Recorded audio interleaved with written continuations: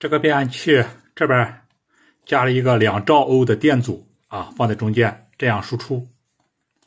上下加了绝缘板，然后把这个头处理一下。这边呢，这样准备拧在散热片上。啊，有人问说做成这个样子干什么呢？让它起震呢？当然还是啊，我这个驱动板啊，有人说了，别用驱动板了。你用驱动板的确做的效果不错，我们也看到了。但是你让我们这些没有驱动板的怎么玩呢？所以今天了，驱动板不用了。我们用什么呢？二极管啊，还有八零五零，嗯，还有钢簧管、电阻啊等等吧。然后我们来把它做上去啊。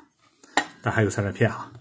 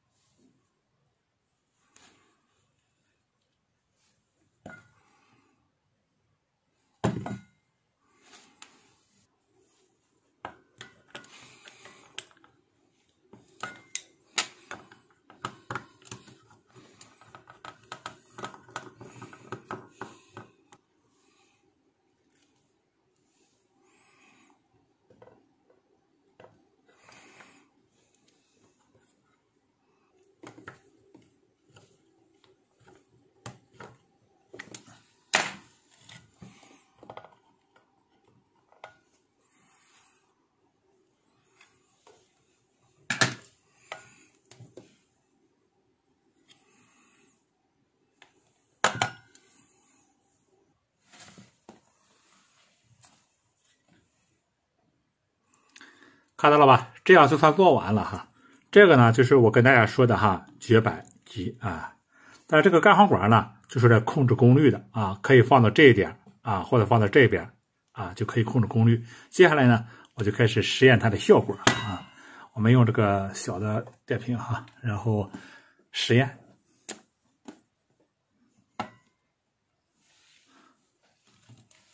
在实验的时候呢，我们找个两百瓦的灯泡把它接上。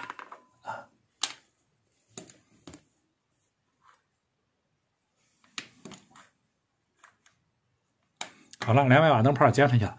这个干簧管呢，一定要放在这个上面，要不然它是一直导通，就会把你个电瓶给短路掉。那么接下来我放哪个位置呢？放在这个位置吧。啊，就是变压器的头上，让它有漏磁嘛。这个时候呢，我接上去，它马上就会起针。我操，这太亮了啊！这是一个两百瓦灯泡，直接就干懵了啊，差点秒掉。那就用两个吧。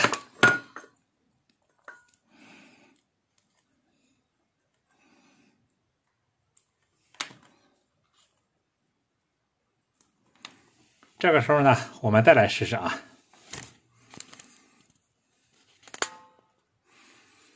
然后四百瓦了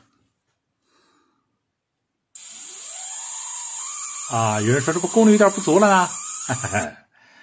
不要着急，功率不足的时候，我不跟你说吗？这个干簧管它是调整功率的。接下来看着啊，看着我拿着干簧管啊。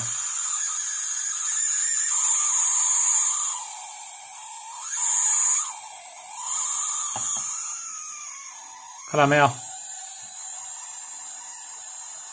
啊，这个呢，就是可以用干簧管来调整功率啊。还吸油，觉得啊，都发热了啊。但是这个呢，我并不想做这个不用驱动板的，只是网友要求说做一个不要驱动板的啊。然后呢，这个东西你放在这个位置、这个位置都可以啊。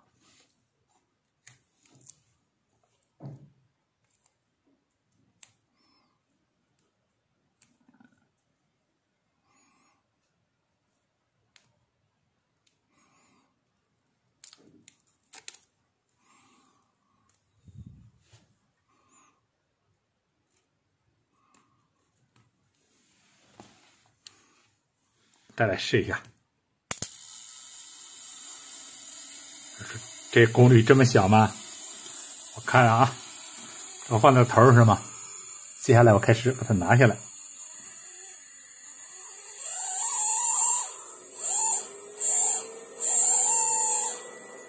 啊，有人说这里为什么冒烟呢？因为这个地方呢，我应该用个。啊，一瓦的电阻，但是我没有一瓦电阻了，我只是用了几个小电阻并在上面，所以它会冒烟字啊。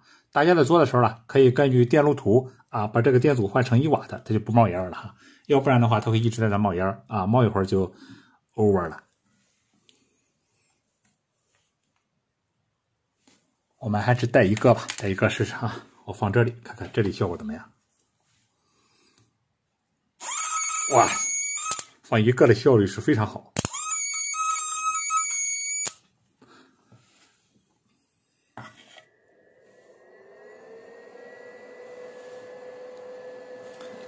好我们试试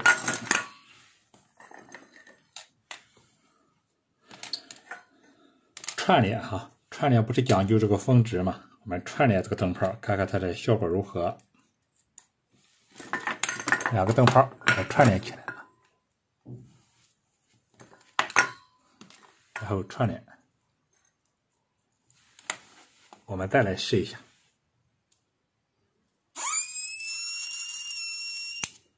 嗯，什么情况？为什么一个亮一个不亮呢？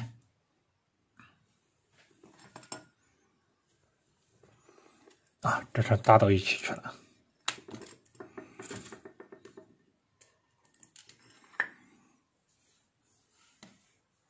啊，我们再来试一下。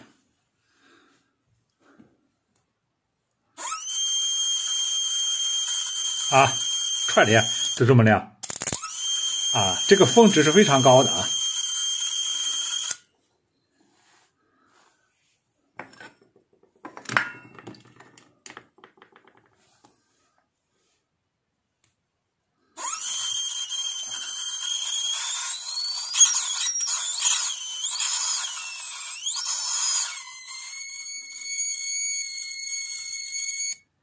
好了，视频到这吧。